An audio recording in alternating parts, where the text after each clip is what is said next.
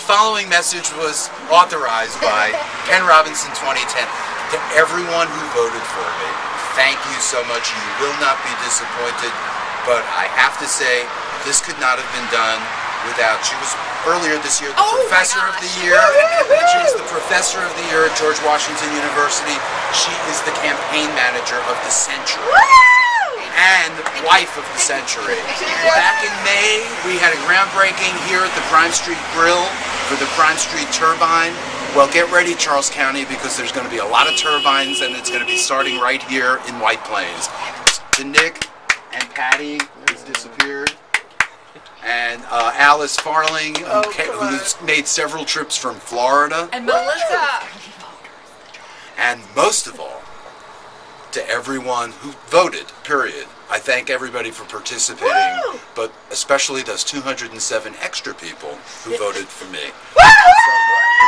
And, and even though he just left, Tim Willis.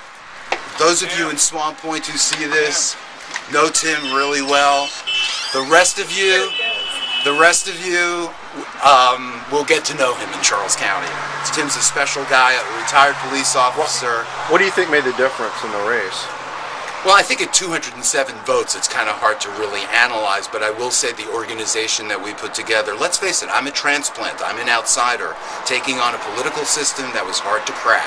We cracked it. And that's totally because of our organization, our targeting, and we came out ahead. And that was truly, we had help from a friend of ours in Seattle, Washington, who was on the phone with us all the time, my sister in New York for moral support. But truly, Cheryl put this whole thing together and made it work. And what do you think the, the change means for Charles County and the current uh, government? Well, first of all, openness, something that has been sorely lacking for so long here. The cameras will always be rolling. There's not going to be backdoor deals, backdoor meetings, surprises for the public. Um, it's, it's really a new day for Charles County. Woohoo! You think it was a bad day for incumbents? You know, I, I will take this opportunity to thank my opponent for running a respectful campaign. Uh, he served the county well as a police officer and as a commissioner for four years, and I'm sure that he will find a way to continue to serve it in some way. And, and I thank him again for, for the respectful campaign that was run.